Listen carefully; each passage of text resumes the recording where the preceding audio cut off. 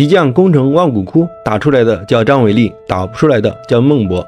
张伟丽靠着二十胜一负的战绩拿到了 UFC 草量级女子金腰带，唯一的一场败绩是首战输给了孟博。这里并不是说孟博不优秀，这位曾经的十三场不败女王，目前仍奋斗在八角笼的沙漠之花。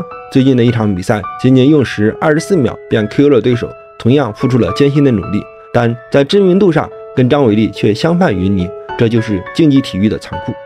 张伟丽的成功必然中充满了偶然。当年那个嚷着要学功夫的小女孩，怎么也不会想到会有今天的成就。张伟丽，一九八九年八月十三日出生于河北魏县。父亲是一名煤矿工人，家里还有两个哥哥。六岁时受功夫片的影响，张伟丽就开始学习武术和摔跤。上课问的第一个问题，竟然是学会了能飞吗？到了元宇宙，我第一件事就得飞檐走壁，是吧？对，大侠直接从这个树上先跳一下跳到云上。如果说边上小学边学功夫是小打小闹的话，十二岁那年，小伟丽真的想去武校上学了。母亲很矛盾。一方面怕这条路太苦，另一方面希望女儿有武艺傍身，至少以后到婆家不会受到欺负。于是就布置了个考验任务，让她自己找学校。小伟丽执着地在电视广告中找到了一家武校的联系方式，父母执拗不过，送她去了武校。